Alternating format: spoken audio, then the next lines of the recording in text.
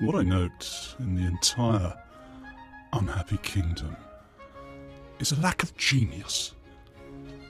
There are minor talents, but there's no sense of the great sweeping wind of inspiration. It's a Philistine country.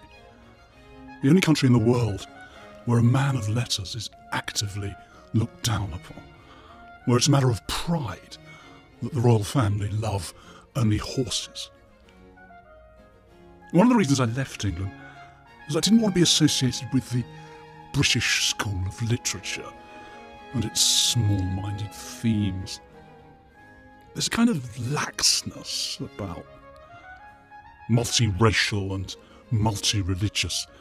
The country has not learned to come to terms with its new mixed condition. The mosque is alien, external, centrifugal. Judeo Christianity and Islam must always fail to cohere. Britain's shame is best shown in beleaguered Salman Rushdie, in the face of whose predicament government is hypocritical. This country used to be one in which free thought flourished and original genius was applauded. No longer. Mary Quant, OBE, invented the miniskirt, which really consists of showing more leg. All right, it's something we've always wanted. She, probably through insensitivity, was able to push it through and was surprised at the response because she wasn't sensitive enough to expect a response. These are not major achievements.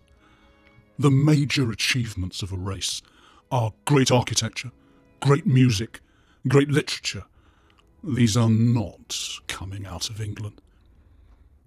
The mess of England, all television, fornication, and a rising generation given to rock music and violence.